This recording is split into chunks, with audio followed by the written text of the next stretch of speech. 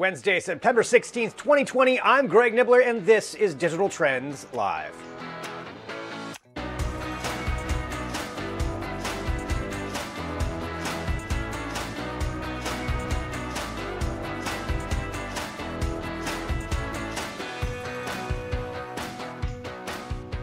Yes, indeed. Hello, everyone. This is Digital Trends Live. I'm Greg Nibler, and thanks for joining us wherever you are. We appreciate it. We broadcast live here every single weekday, 9 a.m. Pacific, noon Eastern, bringing you trending tech headlines, news, interviews, discussions, and more. So hit that subscribe button and join the show. Let's get started off with some news, though. Apple, on Tuesday, unveiled a few new products, including two new Apple Watches and two new iPads, for which we have the complete information for at digitaltrends.com. However, the response to the iOS 14 update and toward its Apple One service bundle has received a bit of a backlash from two very different groups. The iOS 14 updates are rolling out today. This is great for end users because you get to see new features and new look, and developers can utilize those to create unique experiences within their apps. However, developers apparently only received 24 hours notice that the update was rolling out. And since developers usually get a week to work on their apps before an update rolls out, that's left a lot of them very unhappy, as they've voiced repeatedly on Twitter. So don't be surprised if some of your apps are a little wonky for you if you update iOS 14. It's not necessarily the app developer's fault. Now, as for Apple One, it's a new subscription service that bundles things like Apple Music, Apple TV Plus, Apple Arcade, and others all together for a lower price.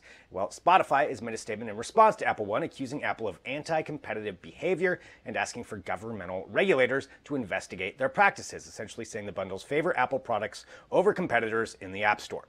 Apple, of course, disagrees, and this adds to a number of anti competitive claims that it is already battling. You can read more about all of this and, of course, the products themselves at digitaltrends.com.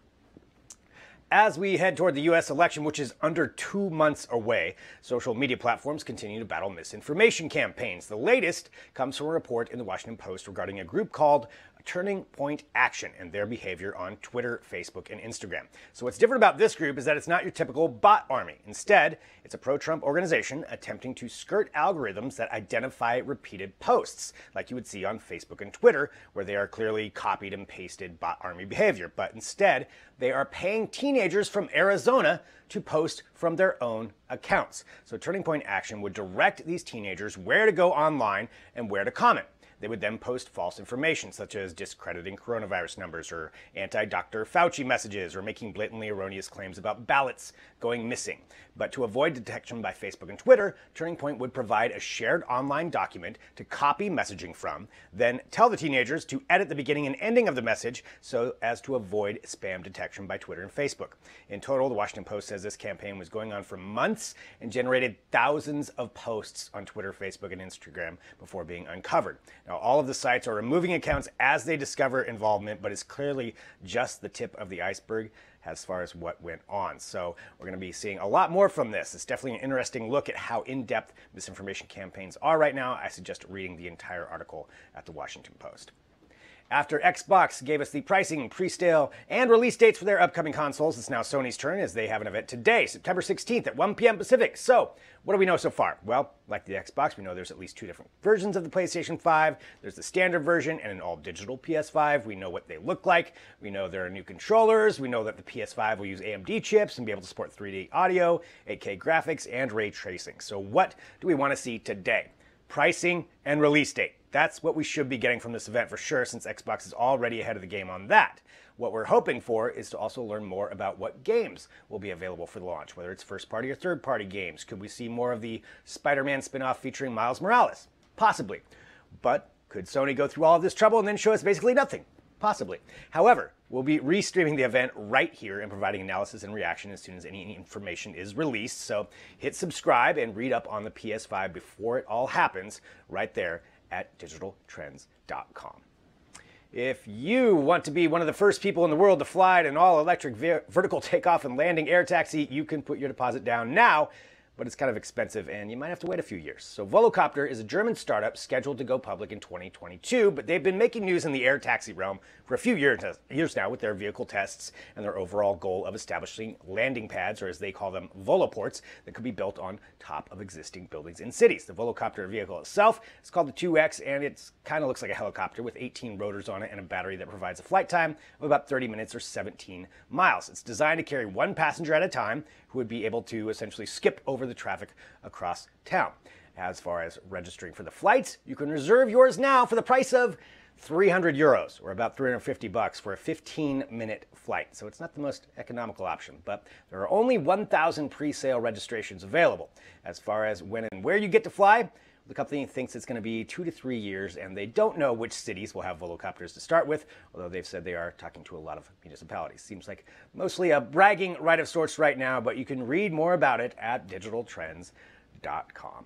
All right, we do keep you up to date on all kinds of different things here at Digital Trends, and that includes products like headphones. And to talk about that, we've got Jaron Schneider. So let's go ahead and go to him right now. He's going to be talking about this for you.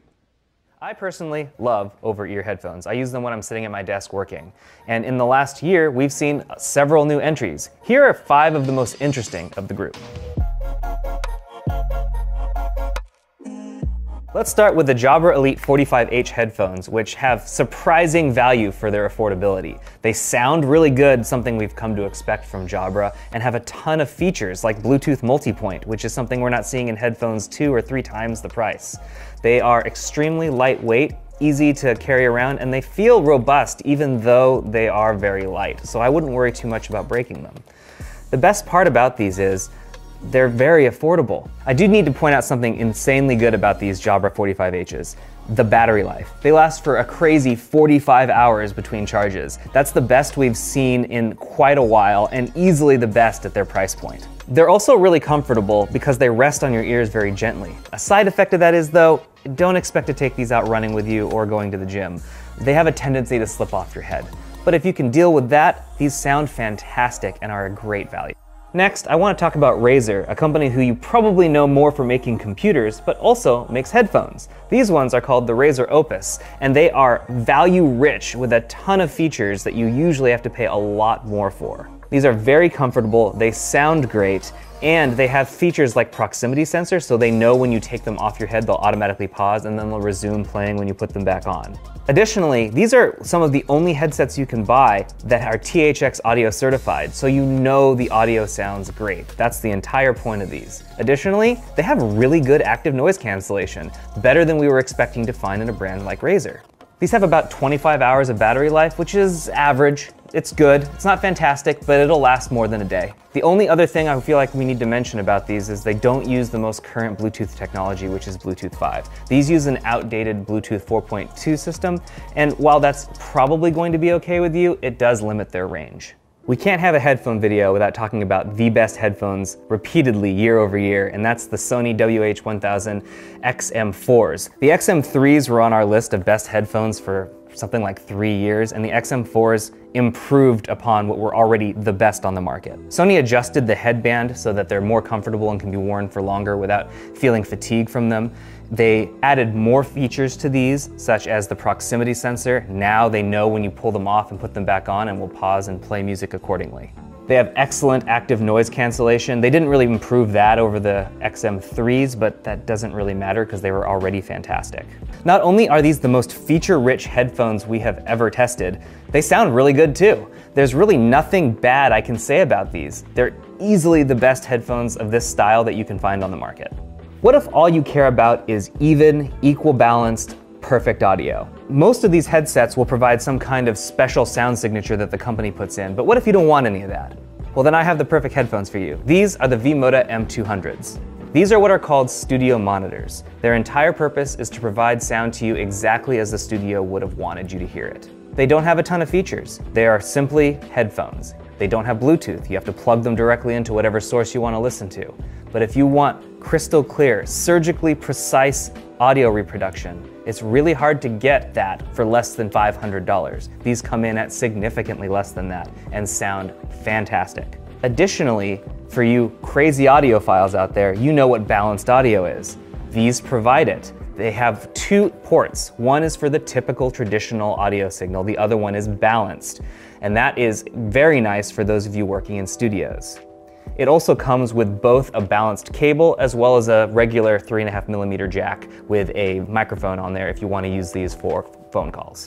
One of the major selling points of the M200s is that you can customize them. On each side, there are these, what on this one, are just black plates, but they come off and can be replaced with any number of plates provided by V-Moda. You can also do your own custom plates through them where they'll do etchings and colors. There's a ton of options and you can make these look really cool. They sound fantastic and are some of the best studio monitors you can get for the price.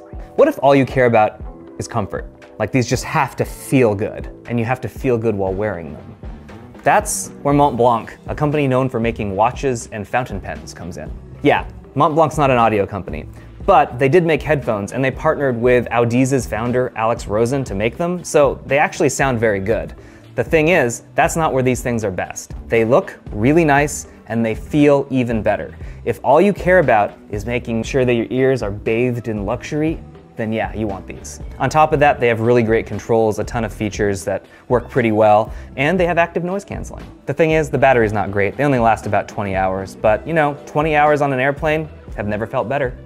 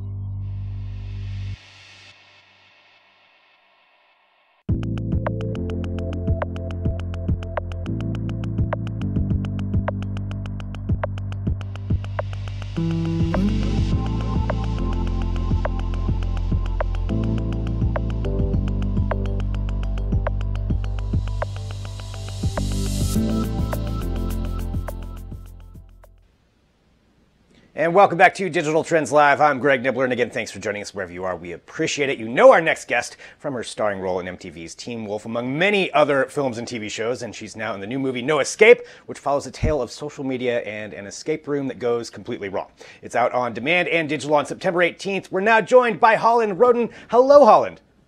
Hi, guys. How are you? Doing great. A uh, lot to ask you about. Big fan of uh, a lot of things that you were doing, but I wanted to ask you this here. First, uh, for this movie in particular, had you ever been in an escape room before? I'm a huge fan of escape rooms. Uh, actually, my mom and my best friend and her mom went to uh, Vienna, Austria a few years ago, where escape rooms apparently started. And so I've always had my last birthday in an escape room. Um, I think it's a great way for friends to get together and have a different way of building a friendship, uh, problem, sol- problem solving things you would not usually problem solve. uh, is there a dream theme for an escape room that you'd like? There was one for my birthday last year. There was a camping one, and we were all in, stuck in this um this this lake house, and every puzzle had to do with how you would actually get out of a lake house. And so there were like coordinates of the lake, and something was hidden at the bottom of the lake, and um, there would be like an attic or a basement. Everything was really well integrated. I did this one in Dallas, Texas. Um, to how you would actually escape from the lake house and get out back to civilization. So it was it was really well thought out. I love that concept. Actually, that that sounds like a great one. Um, something else to ask, ask you about. You know, with this movie, with No Escape, and talking about social media, and just you know, it's really pertinent when this is coming out. Uh, but with social media for yourself, you know, you have huge followings on Instagram and YouTube, and without giving away a spoiler on the movie, can you relay maybe a time that social media went wrong for you? Really name any particular time, but I think that um, in this day and age where everyone has their own news outlet, that is their social media platform, um, be it uh, someone who has a following or a fan that can gain traction with a rumor that's not true. I think those are dangerous uh, tools to have in a toolbox that are um, the game of telephone and the game of rumors is is pretty horrific and can cause a lot of damage. I can only imagine, especially with you know your stature and your followers, that you've encountered some things like that. Um, switching gears, to something else. Uh, this is what I, am really excited to talk to you about. You have a series called Welcome to Hollandaise, uh, where you launched this during the pandemic. The plan is to build this van to travel yeah. and, and live in it, essentially. Mm-hmm. Uh, what inspired you to do that, and what are you most excited about when it comes to living on the road in a van? Well, I this has been a dream of mine for like three years. I uh, it takes a lot of resources and it takes a lot of van lifers who usually build their own vans uh, to not be van lifing. And quarantine was the perfect time for me to reach out to some of my favorite builds. And thankfully, my very first one, uh, Steve Mivas, he's at Free Tired on Instagram.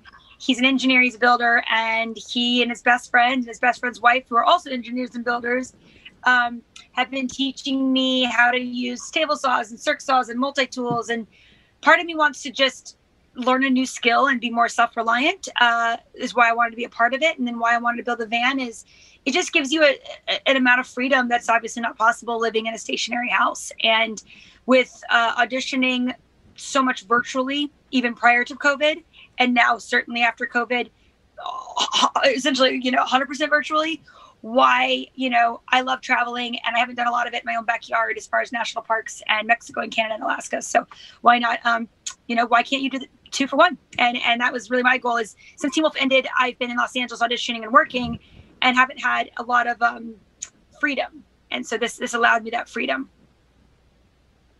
A hundred percent. I mean, I think it's something that a lot of people would want to do, but it's a, it's a bold move to actually go it's do it. Uh, one of the questions that I had, right? I, I mean, that, it takes a lot. Like, what's what's one of the biggest obstacles you're afraid of of being in the van? The toilet. I would say, I would say, um, you know, it's possible. It's pretty.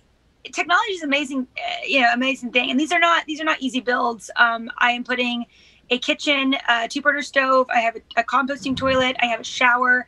Um, a recirculating shower being put in. So these are really uh, entire houses that are built on top of each other within 60 square feet. So you have to like small spaces, which I don't mind small spaces.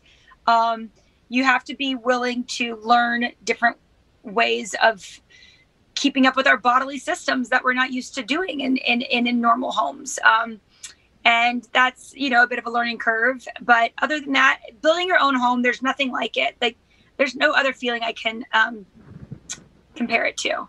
And uh, yeah, it's a bold move, but it was a move that I, I had like a dying urge to do. I, I, acting, getting my dog in this have been like my three big. I have to do this. I just have to.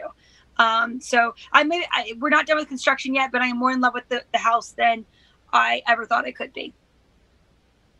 Well, I mean, and following along too with your series of how you're doing it, you are incorporating um, so a lot of technology into this as well, including one where you just put in a Tesla battery into the Sprinter van, which is which is brilliant, and I highly encourage everybody to go check out that obstacle or check out that that episode. Excuse me. Um, with that, as far as the tech side of things, what are you most excited to incorporate into this van? Oh gosh, the recirculating shower is a pretty big deal, and then I am in a 144, which I purely did because of Los Angeles. Um, fitting in a normal parking spot's a big deal to me. If I had been in more of a rural community all the time, I probably would have gotten a 170 because 144 is really tiny to fit everything. And uh, the recirculating shower is pretty cool, and I have a waterproof floor. Um, and so, how the toilet, the sink, and the recirculating shower all kind of sit on top of each other and then kind of expand out to their own things, I think was an ingenious idea. And fitting 520 amp hour battery uh, and 640 watts of solar with a 40 gallon water tank in a 144. I have not seen done personally yet out of all the hundreds of van builds I've looked at. So um, I can I am not the genius behind this idea. Steve Mivas is, and he deserves all the credit. Just a, a, couple more quick questions, and I want to remind everybody too of when your movie is out and to go watch that. But I did have this question. Um, it's just yeah. uh, which one would you want to do and why? If you come down to space travel or time travel, which one would you want to do and why would you want to do it? Well, if you believe in certain multiverses and quantum theory, you can do both. That's a great answer. Space and time. Uh, uh, if you could time travel, which which era would you go to? As much as I would want to go to the past, I'd probably go to the future. Yeah. Yeah. I go. I would go to uh, any time, uh, at least 100 plus years, but anytime in the future. Nice. Yeah. Well, I want to remind everybody too that No Escape is out September 18th. It's on demand and digital. Um, what's one of your favorite memories from filming this movie to let everybody know about it? I just love how realistic it could be. I think that in the day and age of when you ask kids, I think it's like ages 18, 8 to 14, they want to be YouTubers. That's the number one profession in 2020. And I uh, love that this was this shock and awe YouTube influencer that is trying to do always raise the bar and this could happen you could you could bring a group of friends to uh, a country where kind of anything goes and and watch this unfold on camera we've seen things like uh oh gosh the cat the cat documentary you know where this facebook group on netflix followed this guy doing horrific things and so if people like horror this is a very realistic foray into it and uh I think Will did a great job of making that feel really real because I think it could be real. And uh, it's a great group to work with. Will's lovely. He stays so calm, cool, and collected uh, with a lot of balls that he's juggling at once. And so I just had a lovely time on the project. And uh, I I think it's a creepy. The, the the more real horror can be, the creepier it is. And so, in my opinion, it's a pretty real story. I agree. Yeah, the the closer to to something reality, especially with this right now, you're right. You could almost see something like this happening. So that does add to the horror aspect of it, which makes it a great movie. And that's why I want to remind everybody: No Escape out on digital, on digital, and on demand on September 18th. And Holland, thank you so much for joining us, for being here yeah. with us. Appreciate it a lot. Congratulations on what you're doing. Excited to see when you get the van done and when you're out on the road. Uh, maybe you should uh, call in here to the show. That'd be awesome if you wanted yeah, to during uh, when you're out there. But for sure, yeah, that that'd be great. All right, Holland, thank you so much for being here on Digital Trends Live. Appreciate it. Thanks, guys. And again, No Escape out on demand and digital on September 18th. So make sure you check that out. We'll be right back after this with more Digital Trends Live.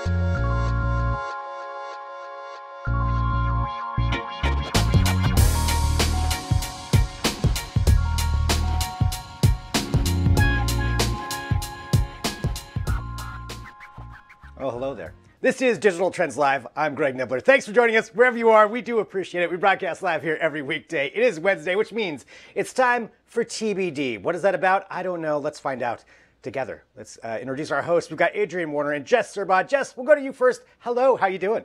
Oh, hello there, Gregory. I'm lovely. How are you doing? I am doing excellent. Uh, we have Jess Surbaugh and, of course, Adrien Warner. Hello, Adrien. Hello, Greg. Happy Wednesday. Thank you. Thank you very much. Uh, so, Adrien, TBD, what are we talking about today? Well, today's episode is called Television's Big Day because we're going to be talking about the 72nd Annual Emmy Awards, which is going to be coming up this Sunday, September 20th. So I have to ask you, Greg, are you planning on watching the Emmys this year? Um, well, I just found out when they were, but yeah, I mean, I, I might actually watch the Emmys this year. You've been interviewing so many awesome and amazing, uh, you know, uh, talented yeah, I kinda, actors. I, kinda probably I, I should have known about this. In. Yeah, should see. well, like I said, it's going to be on uh, this coming Sunday, September 20th. And I know I feel like a broken record. I feel like I say this every episode. But obviously, this year is going to look a lot different than previous years with COVID in play. Uh, awards have really been taken for quite a ride. So this this year, you know, they're going to be doing it live live, but they're going to be doing it remotely from around the world. Jimmy Kimmel is going to be doing the hosting this year, and the main event will be taking place in downtown LA in the Staples Center, but none of the audience or the nominees are going to be present. So this is going to be a huge feat of live streaming. The production crew will be dispatching rigs and kits. Uh, to more than 130 locations around the world to the various nominees, which is going to be really fun because that means the nominees will be able to present themselves in their homes or wherever they're streaming from, however they would like, in front of this worldwide audience. So, you know, I expect to see a couple hijinks, especially from a lot of like the the comedy uh, nominees. so it'll be up to them. It'll be fun to watch. Um, also, of historic note, this is the first year that the Emmys have a black producer. Uh, executive producer Reginald Hudlin noted that he was really inspired this year by uh, the DNC and all of the other conventions that have been taking place remotely. So he's really excited and, um, you know, really paying attention to both the quality, the sound of how they're broadcasting from people's homes. In an interview in an LA Times that came out yesterday, he said, We're not making the Zoomies, we're making the Emmys. So this is going to be a really big event. Um, how can you tune in? There's a couple of different ways for people who have network television at home. You could tune in on ABC at 5 p.m. Uh, East, uh, for sorry, 5 p.m. Pacific or 8 p.m. Eastern. Uh, for cord cutters like myself, there's a couple options. You have Hulu Plus Live, you have AT&T TV Now, uh, YouTube Live. Those are all streaming options. They're not free, but they do have free trials, so you can sign up for a free trial and tune into the Emmys. Um, like I said, this should be really fun to watch with everybody kind of being in their homes and you getting to see what these celebrities, uh, you know, Yeah. are up to there. So I'm definitely going to try and tune in. Um, but to talk a little bit more about who is nominated and what we have to look forward to, I'm going to hand it over to Miss Surbaugh. Thanks, Adrien. So, first of all, I have to mention I read a quote from Reginald um, in the LA Times. Uh, They asked him if any of the celebrities were kind of hesitant at all about kind of setting up like the broadcast rigs and going live from their homes, anything like that. And he said, Yeah, you know, there are some people out there who are like, and I quote, uh, "We're hermetically sealed. We're not doing it." Um, and and he goes on to say, then too, there are people that are like, "Well, we're based in the UK. It'll be 4 a.m., so we'll be sleeping." And he's like, "Well, really? Like, really? So wake up!" and I just I thought that was. I thought that was so amusing. You know, like I understand and completely respect being, you know, down to earth uh, and not consumed by fame, but like it's a historical broadcast of this incredibly prestigious award show where you may win and be honored uh, and for the first time have the freedom to actually accept the award in any manner you so choose um, and then that's your reaction like come on um, anyway rant over but only the shows that aired uh, between June 1st, 2019 and May 31st, 2020 are eligible to contend, which is interesting because that actually had unexpected consequences for several series uh, when production had to shut down um, because it got ended up getting pushed due to quarantine. However, uh, Netflix earned the most overall nominations, while HBO earned the most noms for a single series with 26 for Watchmen. Um, and since both of last big, last year's big winners, Fleabag and Game of Thrones, won for their final seasons, uh, many of the big categories are much more wide open than they've been in the recent past. So, you know, there's so many different categories, so many different nominations. Uh, so I just grabbed two of my favorites to kind of chat about. Um, first up, let's look at outstanding comedy series. Um, let's face it, we're all rooting for Schitt's Creek. Uh, the Canadian comedy was a bit of a Cinderella story in a lot of ways. You know, it arrived through an obscure service, Pop, uh, to later be picked up by Netflix, and it was mostly ignored by the Academy up until that Netflix point, after which it has been lauded for its final two seasons. And the show, you know, which aired its series finale earlier this year, received 15 Emmy nominations. Uh, the series is nominated in the comedy series categories of Outstanding Lead Actor for Eugene Levy, Outstanding Lead Actress for Catherine O'Hara, Outstanding Supporting Actor for Dan Levy, Outstanding Supporting Actress for Annie uh, Murphy, with Dan also receiving directing and writing nods. So, you know, everyone's involved. And I, I will note that the Marvelous Miss Maisel will attempt to come back for after its title this year, uh, after it was defeated last year by Fleabag. So it is another really tight contender. Um, but if it's not going to be Schitt's Creek, uh, I'm team What We Do in the Shadows for sure. Uh, that's my Yeah. underdog. I was gonna say, and I'm positive that you both agree. Am I right? Assuming. You're right. Yes. It's All a right. regular human show. there it is. so next up, let's talk about outstanding limited series, and let's just say it: Watchmen, Watchmen, Watchmen. It's all about Watchmen. Um, in case you somehow missed it, inspired by the graphic novel of the same name, Watchmen explores an alternate reality where mass vigilantes are hunted as criminals, uh, and it tackles issues of terrorism, police brutality, and racism. Um, it's seen as a bit of a hybrid between the original comic series and then executive producer Damon Lindelof's unique kind of creative vision of a storyline. It's been a complete hit. In, fan, in fact, fans are you know begging for a second season. But Damon straight up told Entertainment Weekly, like, I can't say that there definitely won't be, but I can't say there definitely will be a second season. And he's actually mentioned several times that he would love to see a Watchmen season two as written by someone else. So who knows on that one. Um, but as far as the Emmys go, Rolling Stone's chief TV critic Alan Sepinwall said it best. I think um, he and I quote: uh, "In taking a revered and famously hard to adapt comic book and turning it into a commentary on white supremacy in America, Damon Lindelof and friends somehow predicted many of the terrible events that have happened in our world since the miniseries ended, uh, and produced a show that should dominate the proceedings on Sunday night. So, will he be right? Probably, but we shall see." Awesome. Yeah, Watchmen, definitely amazing. Two things. Daniel Levy should win anything he's in 100% Always. all the time. And Catherine always. O'Hara needs and, to take uh, that and home. 100%. yes, yes, uh, I agree across the board. And uh, 130 different houses or whatever. I want to see all the celebrity houses. That's what. That's something else. I want to Right. see something go wrong with that. So I'm excited about that part. Greg all right. wants to see uh, something go awesome. wrong. I mean, that's part of the fun of it. I mean, you got to have something. Uh, so, so the Emmys taking place. Thank you. I know another part though. of TBD is Kick Stop It. What is our product today? Yes. So our product, uh, you got to listen a little bit to to understand because it's quite fun. Um, it's called the Kinetic Driver. So let's just listen to a little bit of the audio from the Kickstarter campaign to really get a sense of what it's about. Allow me to tell you why you don't need the kinetic driver. It has a brass cylinder with a low. CG. It creates a flywheel of reads like this. Okay. All right. Yeah. So, All right. so So, this is a, some this is aggressive basically a marketing there.